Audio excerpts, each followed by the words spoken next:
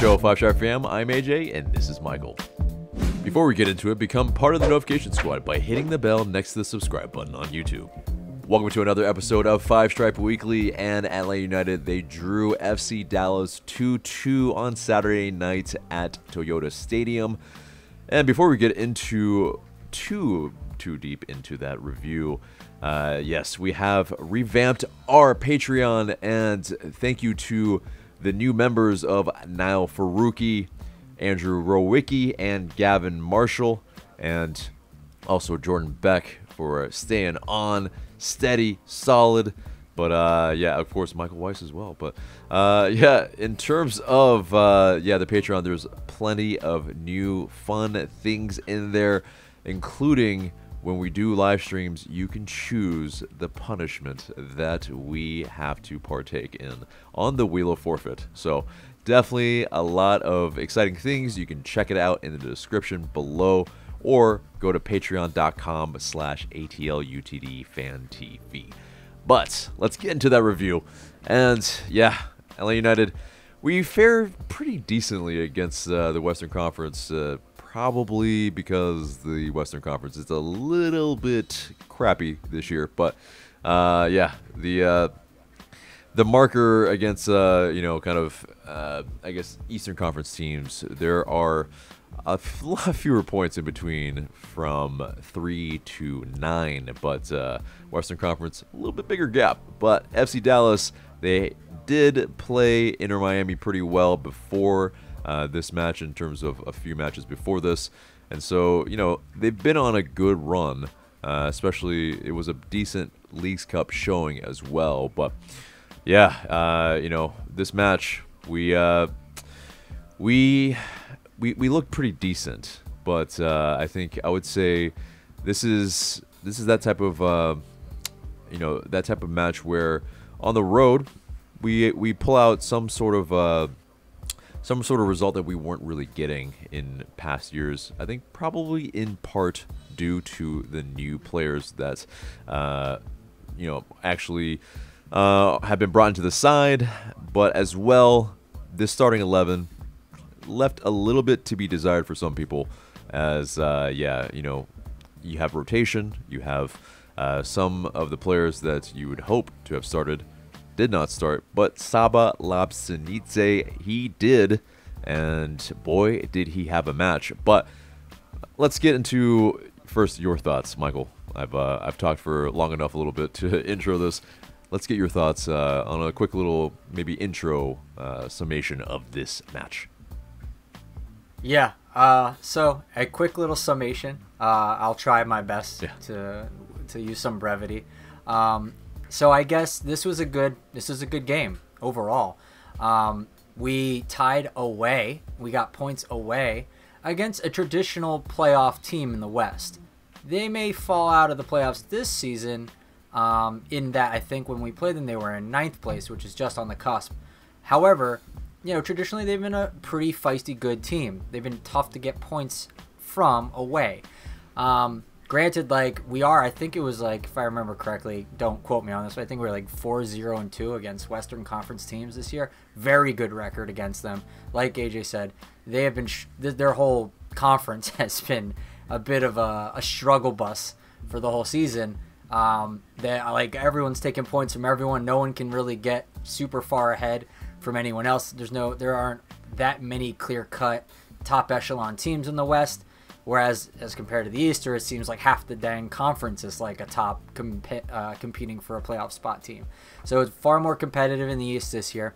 Um, so yeah, we played against um, a kind of a full, a fully functional Dallas team, where our team, on the other hand, was slightly rotated, and we got to see a little bit of the old Atlanta United from the beginning of the season and the um, seasons previous, and that showed us kind of like how far we've come. We've seen, you know, what that team does and how they kind of get spanked in the midfield, and it happened again because we employed Sosa and Osetu, and that just doesn't cut it. or Sejdic. Not anymore. But yeah.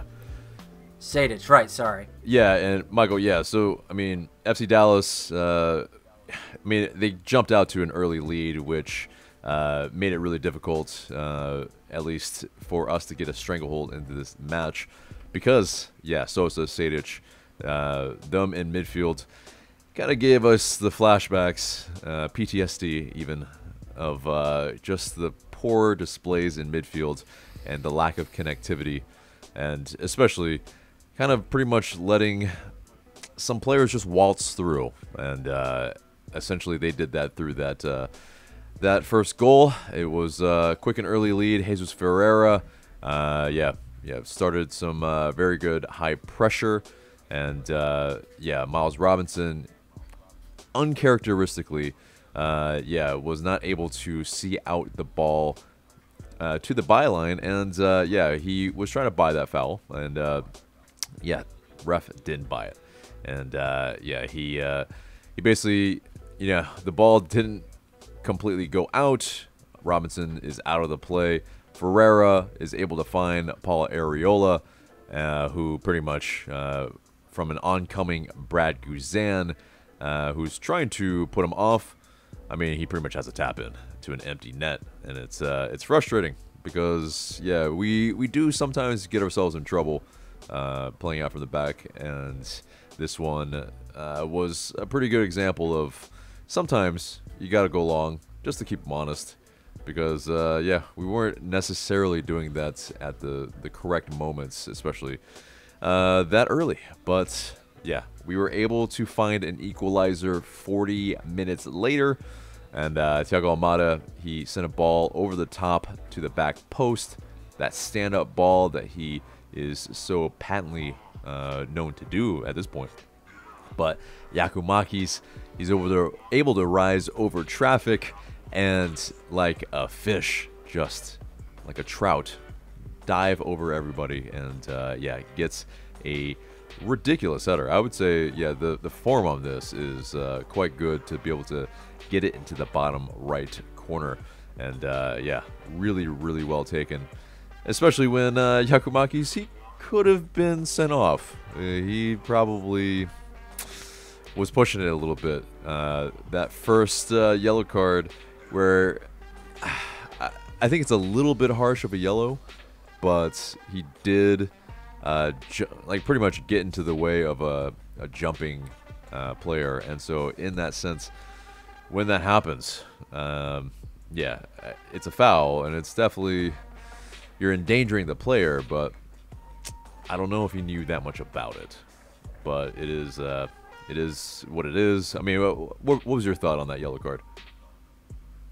Oh, this is the elbow to the, the nose, was it? No, uh, that that was the uh, one that was a oh, no call, but it, was the when he jumped oh, in right, front of right, right. Uh, the jumping player, and uh, yeah, landed really awkwardly. To be fair, like the that. Uh, yeah, I mean, yeah. like he. Uh, I mean, he. I, I whenever a player does that, I tend to think that it is on the player uh, who is kind of canceling their jump in such a way where it upends the other player. You see it in other sports too, specifically in like in hockey. I've seen that a lot, and that gets called every time. It's a dangerous play to do. Um, sometimes it's kind of, you know, the players of two minds. They cancel the jump halfway through, or they pull back, or something like that. Sometimes they can't help it. It's like instinctual. They're just like, ah, I'm just never gonna make that, so they gonna back out of it. But it's too late. They get a little bit of jump in. The other guy goes full jump and then gets sent over. Um, and yeah, that guy landed, I remember, very awkwardly on his neck. I'm surprised there wasn't more damage there. Um, so, you know, lucky for him. That was. Um, and so, yeah, I think it was a fair call. Um, Yorgos needs to be a little more careful. These last couple games, he's seeming a little bit more like center back Yako than he is, or like a number six, a proper number six Yako than he is like a striker. So, I think uh, he needs to settle down a bit because we'd like to see him continue to see him in games. Yeah. so yeah. Yeah, for sure. I mean, uh, yeah, he's properly getting stuck in. That's for sure. And um, yeah, I mean, it's good sometimes, but I mean the way, the area that Giakoumakis got the yellow card, it's like okay, uh, we appreciate you tracking back, but uh, this is. You shouldn't be having to have to do yeah, that. Exactly, yeah, exactly, and it's a it's a little too much, and uh, obviously. Uh, with the elbow as well, that drew some blood on the lip uh, of uh, of an FC Dallas player. It's pretty much, yeah, he could have reeled it in a little bit, uh, but uh, luckily he was able to stay on. the ref was very inconsistent in this match, and uh, it is what it is. I mean, it's like, yeah, he didn't choose to give him another yellow. Okay, fantastic. Giakoumakis is able to make them pay, and uh, yes, uh, very, very key in the 44th minutes to, uh, yeah, bring it level. And uh, yeah, with that goal, it's a 13th for Giakoumakis. and as well, that ties him uh, for the moment with Hany Mukhtar of Nashville FC, SC, of course, and Lucho Acosta of FC Cincy. But uh, in terms of Almada, he now has 14 assists, which ties him for Miguel Almiron and Julian Gressel for the club's single season record. And uh, with about, what, six, seven games left, six games, uh, yeah, you would think that he would probably be able to break it. So, uh, does that make him, uh, you know, the best passer in LA United history? I mean, maybe, maybe we'll find out. But uh, you know, and uh, in terms of the goal, it was the 50th on the season for the Five Stripes as well. So, uh, yeah, definitely. Uh, well, well done. And into the second half, Lobjanidze Saba, he scored the go-ahead goal. Uh, he tried one uh, earlier where he didn't miss by much. It was uh, he was trying to, I think, go for the top left corner, but instead on this one, uh, he cut in like a prime Arjen Robben. and uh, yeah, pretty much skipped it into the bottom left corner. Uh, not really all that well, like like hard struck rather, but very well struck, finessed into that bottom left corner, and yeah, you know, it's definitely something that you love to see because the previous player that was playing, uh, that was a DP from the right wing that would shoot, usually skied it into row Z. So definitely, definitely uh, something that uh, is just greater to see. And this uh, this goal put us up 2-1. Uh, yeah, it's just uh, yeah playing off of some space from Brooks Lennon. It's uh, very very well done, and uh, yeah, Saba, you know, two goals in three games. He's looking every bit of the part of a hungry player that's wanting to show the league, the club, the fans what he's made of. And uh, yeah, I think he's showing a good bit that, uh, yeah, he is a player that tries to make plays, make things happen, uh, isn't afraid to shoot, isn't afraid to get involved, nor as well get on that left side, uh, you know, get involved in some of the play. Uh, yeah, he's not just stuck into that, you know, that right wing and uh, always trying to beat his man on the dribble. He mixes it up, makes it dynamic, and uh, two goals in a week also ain't too bad. So, uh, but yeah, in terms of uh, yeah, of those two goals, did you have a favorite? Oh yeah, definitely. Robben, uh, Saba's left-footed strike. That was class and much needed in a difficult time for mm-hmm. us in that game. Right. Um, I thought that that was the breakthrough we needed to really get a result here, mm-hmm. and luckily, thanks to an offside call, it was. Um, two more things. One thing I just wanted, I'm remiss to say, I think Hani actually did score this week uh, from the penalty spot, so he has regained the lead in the Golden Boot race over Yorgos um, with 14. And the second thing was that I'm uh, like you were kind of getting at the dynamism of Saba on the right side is something very refreshing for us.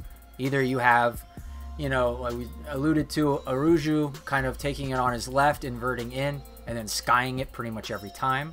Um, or you'd have someone like, you know, if like Lennon's playing down the right, or if you have uh, uh, like Jurgen Damm or something running down the right, all you'd have is just sprint down the right and lob crosses in. Now you have a player who seemingly can do both fairly competently, and he's a goal scoring threat. I'd like to see that continue. It'd be really good if it does. Um, you know, that guy's got a lot of spunk in him, and I'm excited to see if it maintains, if he can keep that up consistently. Because uh, if he can, that's a big difference from what we were sporting on that side of the field for a while now, for like two or three iterations of players coming through for us. So it's a big improvement. For sure, for sure. And it's uh, definitely, uh, like you said, much needed. And as well, Uh, in the midfield, uh, we made some changes at the half. Uh, yeah, you had Sejdic come off, uh, and you had Tristan Muyumba really start to make the difference. I think that's that's really I think mainly what got us back in the game, at least you know in the aspects of getting a little bit more control because we were getting bypassed a lot in midfield in this match. And uh, in terms of, uh, yeah, the lead, unfortunately, there seemed to be some kind of maybe preordained uh, kind of substitutions that were made. Saba being one of them that came off, and Xande Silva and Miguel Berry came on for uh, Giakoumakis, of course, as well in Berry. But uh, yeah, it just like seconds later, we uh, unfortunately uh, we concede. FC Dallas they equalize, and yeah, it's just ridiculous. Yeah, like it's a ball over the top, and Kamungo he does really well to not only control it, chip it past Brad Guzan, but unfortunately he can't elude the challenge from Brad Guzan in which, uh, yeah, you know not to mess with Brad Guzan if you're Franco Escobar, if you're, uh, you know, other players that's uh, LGP, that's, uh, yeah, basically if you're near around the box and Brad Guzan's coming for you, duck. but, uh, yeah, yeah, Kamungo, he was able to get that goal and uh, really well taken. I mean, just the fact that he was able to, yeah, just chip it from outside the box. Really, really well taken, and uh, I'm pissed. I'm, I'm I'm annoyed at the type of goal that uh, we conceded there. Um, I think we were trying to probably play a little bit of an offside trap there, but uh, not to good effect, unfortunately, uh, because that right side uh, just didn't just didn't do the job. Uh, they didn't step up forward quick enough, and yeah, it's just something that uh, yeah, it's two two. It's it's too quick. It's too quick on uh, from a substitution. Um, sometimes that's just how it shakes out. But yeah, on the road you just can't concede that easily. And uh, you know they. Uh, I mean, it, it's really it's like a simple ball, just to you know. Uh, yeah, it, I'm I'm disgusted a little bit at times. Uh, but uh, yeah, and then there was uh, a appearing to be anyway, a go-ahead goal in the 76th minute from Marco Farfan. And uh, yeah, they were able to ch chase down a loose ball heading toward the corner, and they played it back into the box. But VAR, they called it back due to offside and uh, from the initial pass in. So yeah, we were able to skirt some disaster after uh, yeah being 1-0 down, 2-0 up, and then maybe 3-2 down. Uh, very reminiscent of uh, another match that was played over the weekend. Arsenal, Manchester United. Uh, yeah, very, very like kind of parallel type of games that uh, we experienced, uh, or me, I experienced as a fan of both of those teams. But uh, yeah, so I mean, in that we get a result on the road. Uh yeah, of course, the other one we won 2 0 against Seattle. So, yeah, second consecutive match where we get a point or points. So it's uh, progress. I mean, what, what, do you think? It yeah. is absolutely. I mean, our away form with under Pineda is historically terrible. Mm-hmm. So we're making strides and trying to correct that, and that's good. And I think that comes down to a lot of um, the new signings, um, and it's it's just night and day. People keep using that term, night and day, especially when Tristan is playing, and I completely agree. It is. It is uh, for sure, for sure, and uh, yeah, I think that outlines some of the clamoring that a lot of fans have been uh, really wanting for a really dynamic number eight. Because yeah, if you don't have Tristan Muyumba, eh, yeah, you know, it looks kind of dire in midfield, and uh, yeah, we really need to be able to, uh, I think, shore that up. Matheus Rossetto, uh, he came on in the second half as well, and he looked, uh, yeah, I mean, he looked, he looked to piece some things together, but I would say, yeah, ultimately it still is, yeah, I mean, if, I would say the, the different, the different type of player that we would have in the middle maybe could have put things over the top. uh, because yeah, if you can win that midfield battle, uh, especially late, I think you can uh, yeah you know really do some things in this league. And unfortunately, Imagine for a second, AJ. Huh. Imagine for a second, we move uh, Muyumba to a six and bring in a DP eight. Just imagine for a moment how what, what kind of world that would be. it, yeah, a uh, a number eight scoring from midfield. Uh, yeah, we haven't uh, we haven't seen that in years. So it is uh, definitely I would fully welcome it for sure, and it's uh, it's something that needs to be done in the winter window, of course. But uh, yeah, uh, I think we all know the Achilles heel of this uh, LA United team. But uh, either way, anyway, uh, let's wrap this baby up. But yes, this is the last match before the international break. Uh, and our next match will be, of course, against Lionel Messi and Inter Miami at the Benz. So, uh, yeah, it'll be we hope to see everybody there. Exactly. It's gonna be a yeah, party. exactly. Yeah, I'm sure a lot of people will be there. Uh, a lot of people have been probably also uh, frozen out from being able to get and afford more so these tickets. But uh, it will be Latin Heritage Night, so uh, those that will be in the stadium will be able to uh, enjoy that aspect. But uh, yeah, so that does it for the match review, and it gets us into the news. And the first bit of news is that Thiago Almada he makes the team of the match day bench. Uh, of course, with that assist for Giakoumakis as well, so uh, definitely well deserved. Doug Roberson, he uh, tweeted out or Xed, posted, whatever we want to call it these days, uh, that there is no update on Jamal Thiare, our uh, backup striker that we signed in the summer window. There are now six games remaining, and he still has visa issues. So this is a this is a problem. I mean, uh, basically, uh, Doug Roberson he has posited that he wouldn't be surprised if Atlanta United canceled his contract if uh, we cannot get him in uh, soon. I mean, if this window, if not this window, then I would probably imagine so as well. That uh, yeah, five, six games. He, I mean, he hasn't been able to train with the club either, and uh, I think we noticed this issue uh, pretty much during this week when, uh, yeah, on Wednesday we didn't have really any weapons to put on when we really needed something. So it's uh, yeah, definitely a perplexing situation. But uh, well, what are your thoughts?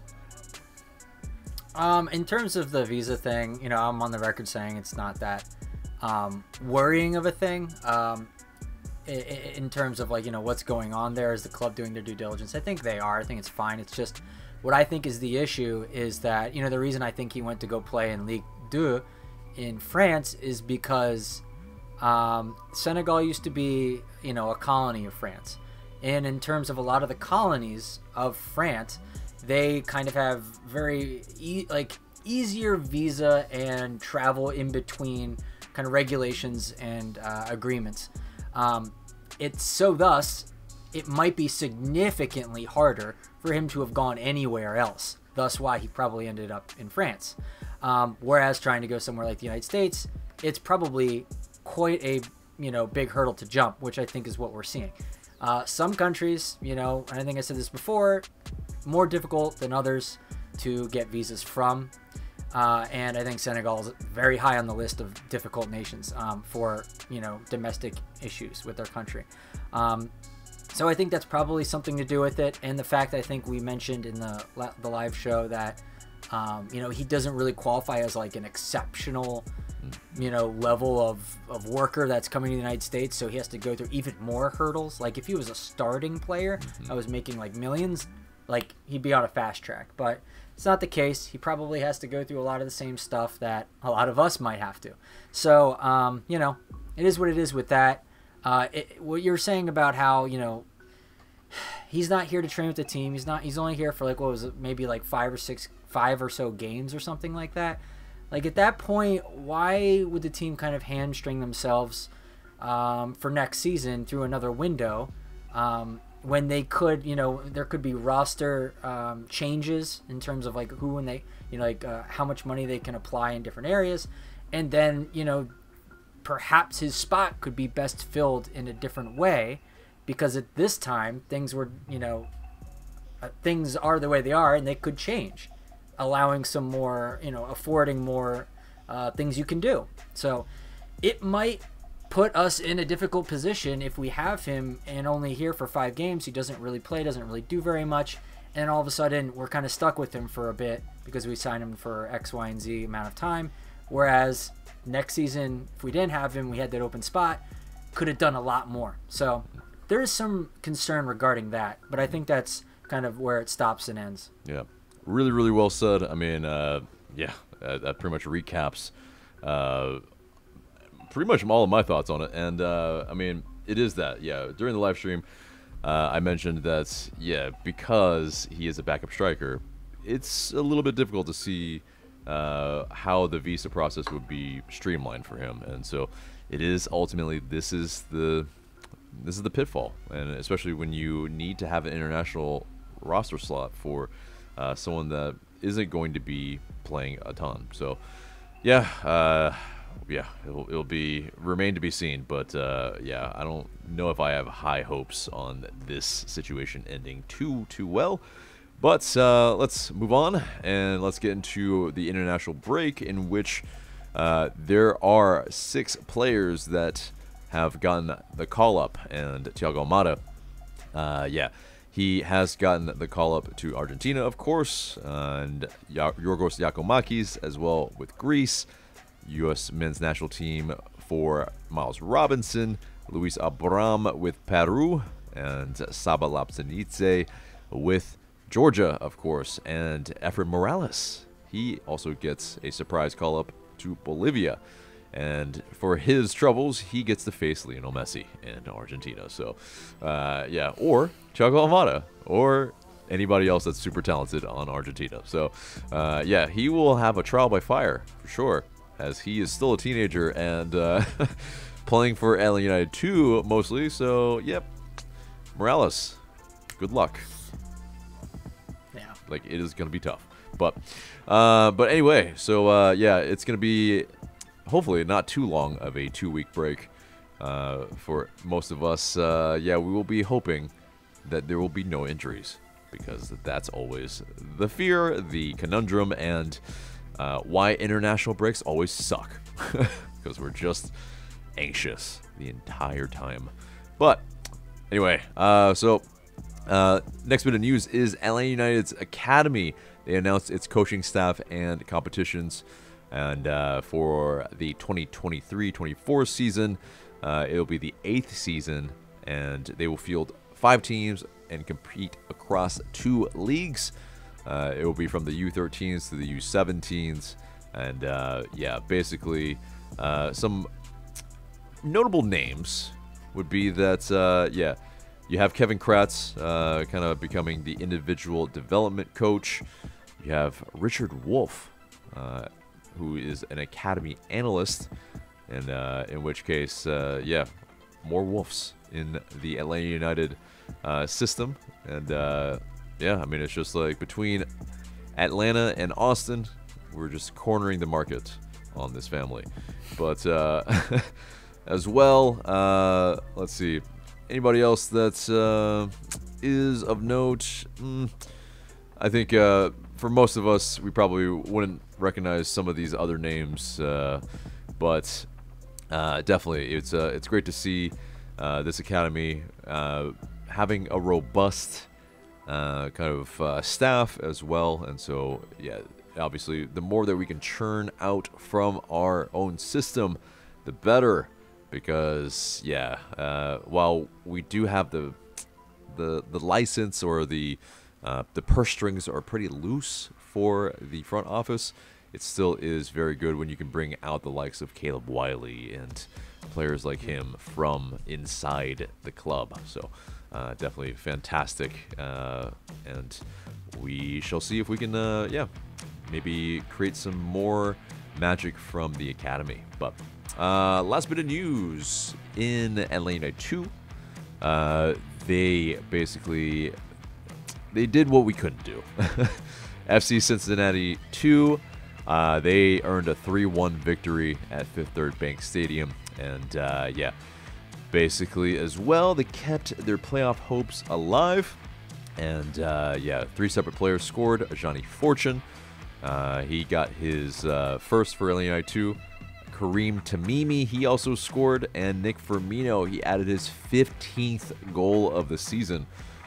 Man, Nick Firmino, he uh, he probably deserves a spot in the uh, the roster next season if we can uh, keep him and do all that so that we need to. He'll probably be gone. I would, I would suspect he's probably going to be gone. Yeah, yeah. What? What do you think? Why do I think? Because he's lighting it up uh, where he's at, um, and I think people are going to look at him as a very good prospect going forward, uh, and they probably want to develop him and then hopefully get something big from him. And I think he's capable of doing so. I mean, I hope it'd be us, but I think uh, you know it would be a good bit of business for us to get uh, to move him on as well. Mm-hmm. Yeah, if we can get a you know maybe a couple couple hundred thousand dollars of GAM, wouldn't be too bad.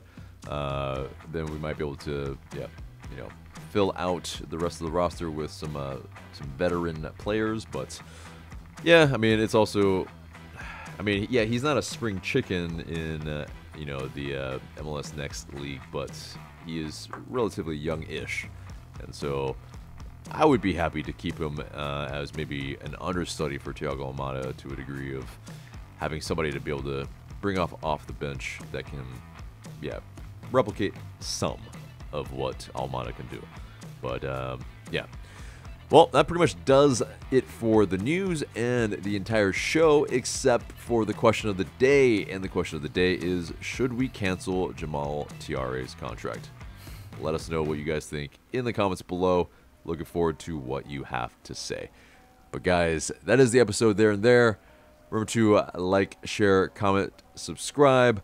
Also, sign up for that Patreon, as mentioned before and at the top of the episode uh, yeah, looking forward to seeing you guys there as well. And uh, yeah. And we have a two week break, and uh, we might have some fun things coming up.